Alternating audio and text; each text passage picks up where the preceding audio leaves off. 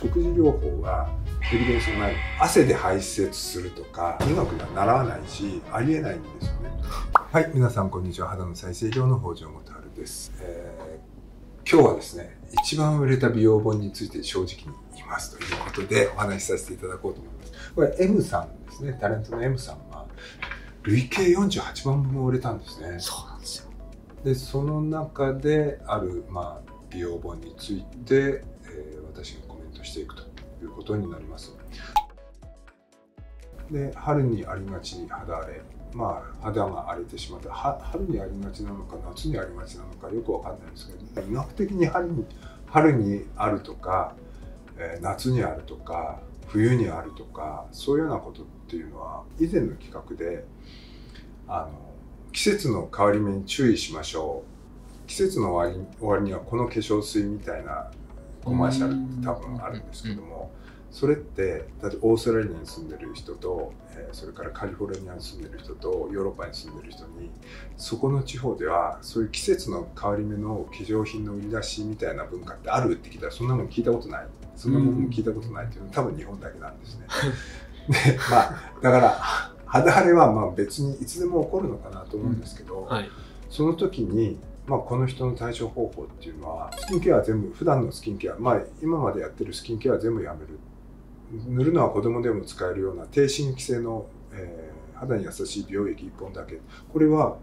あの理由はどうあれすごくいい方法かなと思います。で肌春だけに限らず、まあ、肌荒れが起こった時には乳液とスキンケアとクレンザーあクレンジングとか、まあ、そういうようなものをやめて非常にシンプルにするっていうのはこれうまく基本だと思います、で皮膚っていうのは大体その外的な刺激によって何かが起こる。で起こらないように角質、まあ、生命反応がないところで守っているでもそのバリアを超えてきた時に何かが起こる肌荒れとか吹き出物が起こる。その時に基本的には医学基本的には原因が分からなくても何か外的な刺激のありありそうなものを全てやめやめましょうっていう考えなんですね。だからそういう考えからすると全然いいと思います。あのスキンケア商品といっても低アレルギーだけれどもアレルギー反応がないとか刺激性がないものっていうのは一つもないですからやっぱりそういうようなものを全部やめてしまうっていう発想は非常にいいのかなと思います。オイルやクリームを重ねるのもやめるっていうのはいいと思います。自分の皮脂だけでえー過ごす、まあ、自分の皮膚が分泌する皮脂だけで過ごす。で何もしない。オイルやクリームも塗らないっていうのもいいと思いますね。食生活もいつもまず揚げ物や炒め物は NG まあこれはいいんじゃないでしょうかね。油っぽいものを取らなくてもいいと思います。ただ一つ言えるのがあの日本皮膚科学会の治療指針の中で治療ガイドラインの中で尋常性挫創、まあ、ニキビの治療で食事療法がエビデンスがないっていうことになってるなってる。そうなんですか？そうなんです。あのエビデンスがないので進めてもいいけども積極的に進めるようなエビデンスはないっていうことになっているので食性吹き出物ができたから揚げ物や炒め物、まあ、しゃ食べ物を変えるっていうのは基本的には今の知見では皮膚科の知見では皮膚の疾患トラブルに関して食事療法は意味がないっていうことにはなってます。自分もあのオイリーな肌なんではい、皮膚科に相談したら、はい。ポテトチップスやめましょうみたいな。ただこれガイドラインのその治療指針の中にすごくもう絶対進めろとか、まあ、できたら進めましょうとか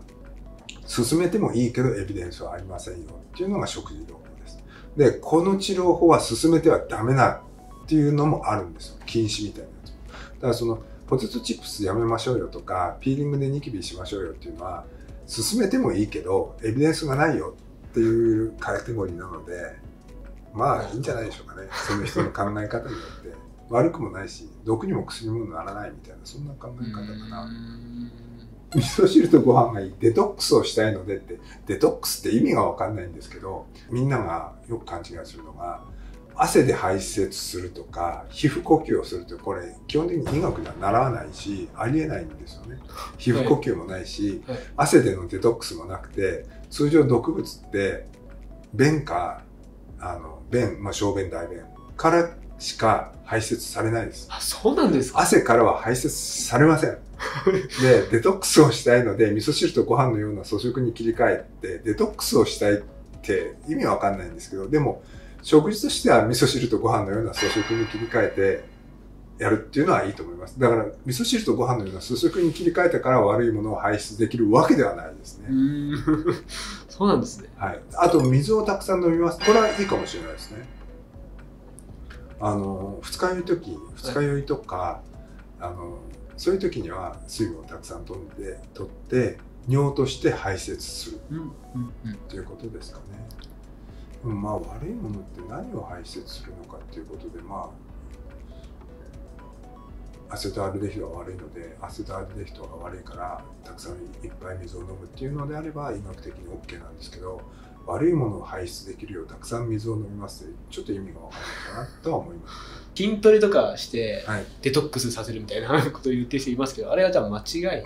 あある意味合ってるかもしれないですね。筋トレした時に例えばそのプロテインいっぱい飲むじゃないですか。はい。で3つの栄養素、まあ、しタンパク脂質糖これ三大栄養素多分みんな知ってると思うんです。タンパク質脂質糖で糖と脂質ってリザーブができるんですね。この皮下脂肪として、あのただタンパク質ってリザーブができないので大体新しい筋肉に使われるか分解されて排泄されるか、まあ、栄養素としてつあのタンパク質から栄養源になる経路もあるんですけど基本的には蓄積されないのでたくさん取りすぎたタンパク質って BUN みたいな形になって、まあ、おしっこになって出てくるんですけどもそれを体に溜まるとあんまり良くないので排泄するために水をたくさん飲んで排泄するっていうのはありかもしれないですね。BUN っていう毒素が溜まる原因って2つしかないんですよ。取りすぎるか排泄できないかその2つしかないので筋トレとかしてそのタンパク質をいっぱい取ると確かに BUN は溜まるんですけど、はい。腎臓機能が正常だったらあっという間に排泄されるのでその BUN の毒素が一時的になったとしても、まあ、あっという間に排泄されるまあそこの部分を毒素と呼んで水をたくさん飲んで、まあ、ちょっと排泄を促進するっていうのはありかもしれないですね。うん。産毛があるとそこにホコリや汚れがついてしまって肌をくすませる原因にはなるとは思いますよね。うん。うん。だからホコリや汚れがついても別に皮膚の機能には全然支障がないんですけどはい。犬や猫なんて汚れやホコリいっぱいつけて生きてますから、まあそれで寿命がどうのこうのなるまあ人の皮膚の健康が阻害されることはないんですけど見た目には悪いので剃った方が肌は絶対に綺麗に見えるっていうことと皆さん誤解するのは綺麗に見えるイコール健康っていう状態ではないうん。というのは理解した。まあ、健康か健康じゃないかっていうのは別に産毛を剃っても剃らなくても皮膚の健康という概念から切り口からすると一緒やんとは思うんですけど綺麗に見える見えないみたいな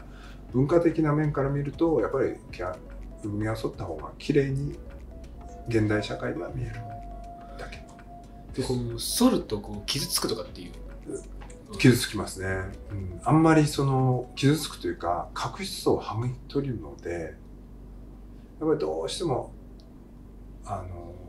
剥がない方がいいかなとは思いますよね、こんなこと言ってました？ね。剃ると濃く見えるみたいな。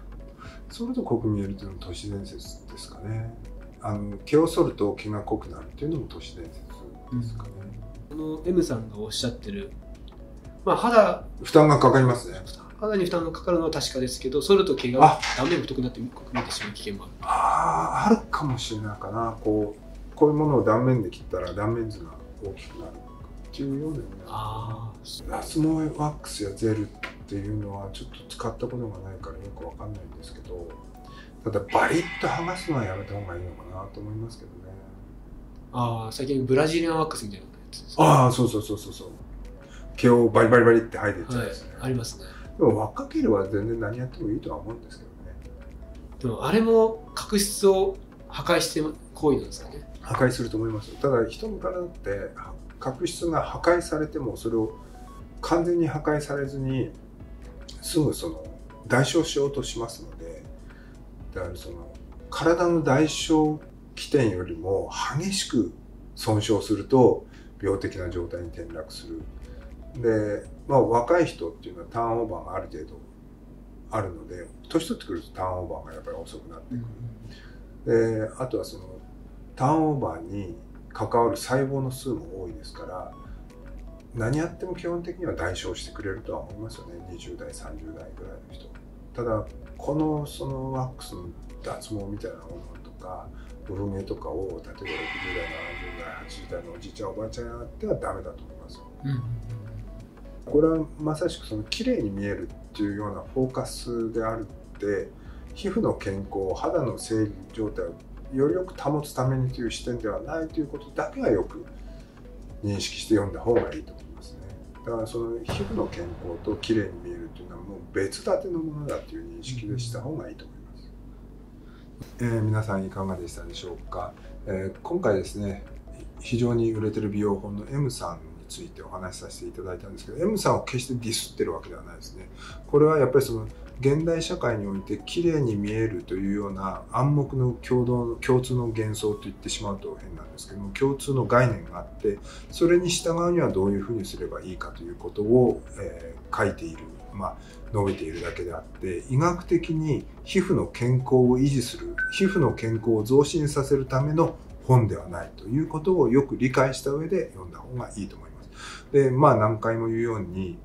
皮膚が健康な状態、まあ健康な状態、まあ、生理な状態が病理な状態に陥ってしまうようなことがあれば、今やっているような美容法あ、まあ、M さんも言ってるんですけど、スパッとやめて、えまあ、様子を見るっていうようなのが非常にいい方法かなというふうに思います。まあ、何回も言うようですけども、美容についてネガティブなことを言ってるわけではないので私の出演はあくまでも皮膚の健康というような、まあ、一つの側面ですね。皮膚の健康を追求したらやっぱり現代社会にとってはあまり綺麗じゃないみたいなような状態もありえるとは思うんですけどもそういうような視点でこの動画を撮っているということを、えー、認識した上で私の動画を見ていただけたらと思います、えー、今日は最後までご視聴ありがとうございました。もしよかったらチャンネル登録と、えー、高評価の方よろしくお願いします。では。